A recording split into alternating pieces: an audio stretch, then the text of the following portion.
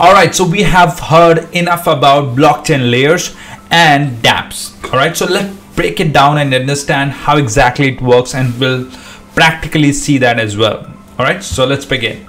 So um, I'll make use of some diagrams very quickly to understand it. At the very bottom, we have our network layer. Okay, so on the very bottom of the blockchain, we have our network layer, which is basically our P2P network. Okay, and in this P2P network, what we have is basically nodes.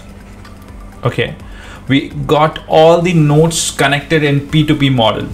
Okay, we'll be talking about it in further layers. Uh, next, we have our consensus layer. All right, so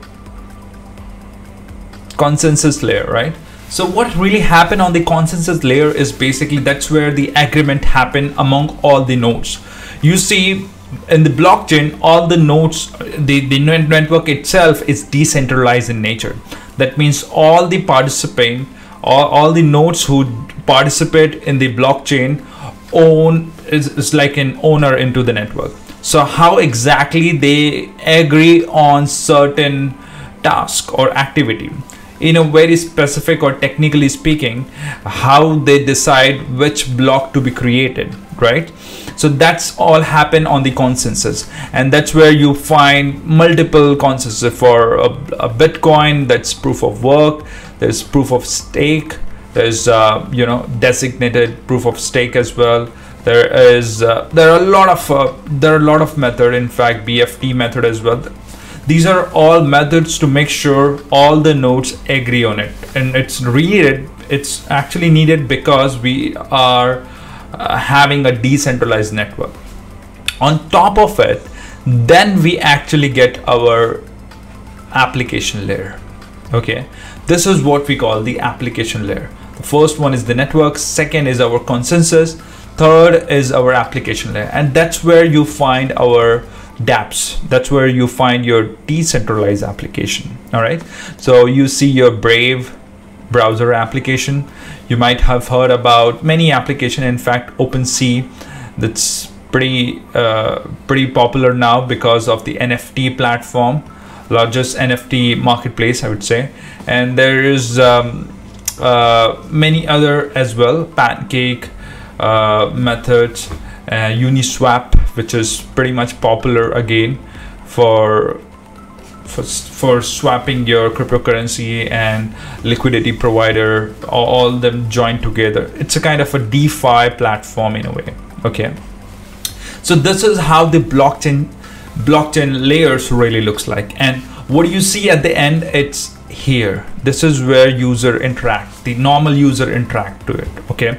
Now you may ask uh, you know how exactly it really looks like on the device on the node itself. Okay so when you look at the node it looks very different. On the node this is my node or we can we, we can as we can consider as simple as your computer. But of course having you know more resources more ram more cpu and all those stuff right? Of course the gpu so then on top of it then you install the node software. It could be ethereum go it could be it, it could be node software right? So if you go with the ethereum so you have to install the ethereum client. If you go for any other node so you have to install that blockchain node into it right? So let's um, let's consider we install ethereum. So the moment you install the ethereum you basically uh, install the evm of it right? So that's basically e ethereum virtual machine uh, an environment evm is basically again a software an environment where actually your smart contract runs. So that's where your smart contract come into the picture. So your smart contract basically basically runs or i would say deployed in the evm and once it deployed then you get your uh, opcode created right? So and on top of it then you basically have your dApp right? Usually we write it as dApp okay? So you get the idea right this is where your network layer comes in into the picture. And in fact EVM itself has a capability of how the consensus really works. And then on top of it you have your application layer. And in between you have your consensus which take care of everything. Sometime you you know people also talk about it okay it's, it's near smart contract is pretty near to the app because that's where it more interact. But in a generic node this is how exactly it works. All right? So let's practically understand how this would really looks like okay? So if I go to if I go to you know any platform it's a very popular platform in a way. Um, I'll make use of a site called DAP Radar okay? If you go to a site called DappRadar this is where you find all the all the decentralized application okay? And if you explore you get the idea right? You get once let's say you want to know all the decentralized application running on ethereum just click on it okay? And you get to see all the ethereum uh, based application based decentralized application. You can see the OpenSea right? So when you go to the OpenSea you get the okay let me keep it this way all right so when you go to the OpenSea let me open this site uh, this is where your actual network comes in. This is where your uh, actual interaction basically plays it. Now this is your DApp, right? And uh, if you being a user, your DApp need to talk to your smart contract on the bottom layer and in the consensus as well. And what is consensus? It's an agreement, right? So at this moment, I see OpenSea just like any other application, just like you might have might have seen any other application like a web application like Udemy, or I'm just taking an example, CNN, Google, maybe Yahoo, and all those stuff, right? So exactly the way it also looks right? But what makes it very different? What makes it very interesting is you can interact to this application. You can only interact to this application by making use of a wallet right? That's important for a user. So you see a metamask on the top of it. We can cover about metamask in probably another session.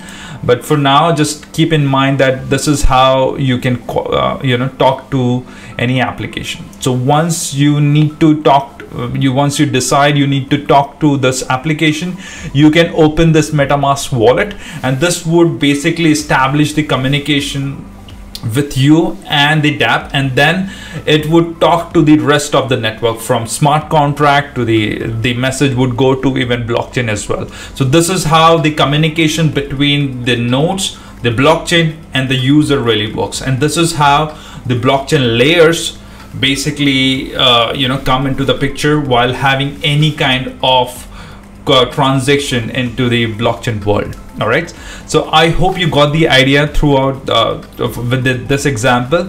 If you also try to look at what different uh, dapps we have for the other blockchain as well you can even try this website to get the idea about eos you can also look for near protocol which is now really booming up.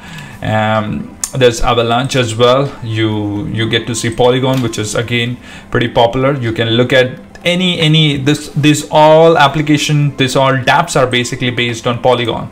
So if you go those those sites you get to see this looks very similar to it. This is kind of a mobile game crypto rewards project. This looks very similar but when you want to uh, interact with this application you can't really simply create sign in form or you can't really uh, you know submit your email id and password and can start talking to it. You have to talk to it uh, with the help of some wallet, right? So when I launch it, I have to connect my wallet. You see this? I have to connect my wallet and this will send a message. This will send a, a kind of a message to my wallet. That's where I have to authorize it and I have to approve the transaction. So sometime if you are on the right network, it might approve, but because I'm actually on the Ethereum network, my my wallet is configured to be only work on the Ethereum blockchain. But this application is working on the Polygon. So I won't be able to establish the communication. So that's very, very important it's it's this is what you really have to keep in, in mind if the application if the dApp is working on a specific uh, network let's say a polygon so the it can only talk to the network if you are ready if you are configured your wallet under polygon network but of course don't worry about it. In the further session we'll definitely talk about how to have inter blockchain communication and what the, the, different other how those protocol really works like cosmos and even um, that's very interesting polkadot as well. So we'll be covering that point as well. All right? So i hope you got the idea. If you have any question related to this you can ask me in the comment. I'll see you there. Thank you